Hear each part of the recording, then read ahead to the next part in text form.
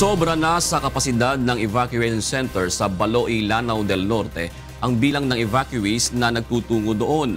Kaya panawagan ng mga bakwit sana dumating na ang ipinangakong mga tent sa kanila. Ito ang hataw na balita ni Weng Fernandez. Buwan mula nang sumiklab ang kaguluhan sa Marawi City, tuloy-tuloy pa rin ang dating ng mga evacuees sa bayan ng Balui sa Lanao del Norte. Dahil dito, sobra-sobra na sa kapasidad ng itinalagang evacuation center ang bilang ng mga taong nagsisiksikan dito. Sa sobrang init, nagkakasakit na rin ang mga evacuees, lalo na ang mga bata. Kaya naman sinisingil na ng mga bakwit ang DSWD sa ipinangako nilang mga tent para sa kanila.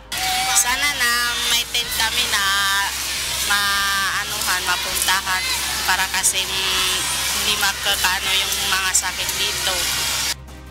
about staff space, uh, actually ma'am, uh, sana po yung ano namin, yung proposal ng nanawanawagan po ako sa central office ni WD na sana na yung proposal nila na they will going to provide things for these IDPs since uh, this uh, gumampong uh, evacuation center is the most congested among evacuation centers in Balo, Ilanao del Norte. Tulong pinansyal naman ang hiling ng ibang bakwit. Nandiyan na nga yung pagkain nila. Yung daily needs nila nandyan. Pero minsan pagtanungin mo sila, kailangan nila ng pera. Yung pambili ng mga... Ay, yung gusto nila. Oo. Kasi kumbaga sa nagsawa na sila sa mga sa canned goods. Time, kahit ngay- ngayon, naglalakad ako dyan. Maghingi sa akin ng kahit 100 pesos lang. Humihingi naman ng tulong sa pamahalaan ang isang byuda para sa pagpapagamot ng kanyang anak na may cerebral palsy. Gusto ko lang sabihin sa kanya na mm,